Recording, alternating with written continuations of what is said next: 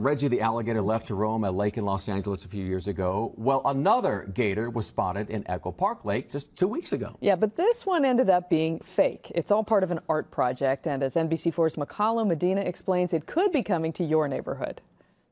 Not too many people here. YouTube video captures the moment when Kent Yoshimura's 23 foot long water barreled beast was dropped into Echo Park Lake. Ah, Yoshimura waist deep in the water to help get it around the lake and causing a stir with neighbors. If I could get some sort of reaction, whether it's um, a smile, disgust, terror, you know, it could be, it could be on either spectrum. I, I feel like that's what art should be. It didn't scare people, but it did freak out a lot of neighbors who called city workers to get the alligator out of the lake. Social media captured that moment. Yoshimura knows his unauthorized public art is only temporary, but the conversations it starts last much longer. When you create a public piece, you have to expect the public to respond to it, whether it's good or bad. Public art is Yoshimura's specialty. He paints kiosks in Little Tokyo, utility boxes downtown, and goes big, really big, in a neighborhood near you. Alligator in Echo Park Lake, 20 something foot beached whale, giant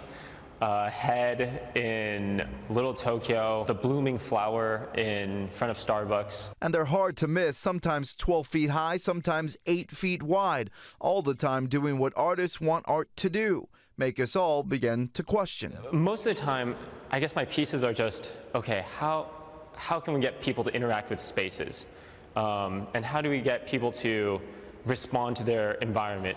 For Yoshimura, a full-time entrepreneur, his art is only part-time, but something he has a deep passion for. His work is done in spaces like these warehouses in downtown, where he takes scrap metal, wire, and scissors and you know, creates something he hopes will change someone's day. Um, it transforms that moment. His next project will be authorized and will probably be up for a pretty long time. He's working on a sculpture for Little Tokyo. In Japanese restaurants, there's like that cat that tries to wave you in. I'm making basically like a giant, maybe like 15 foot tall one of those.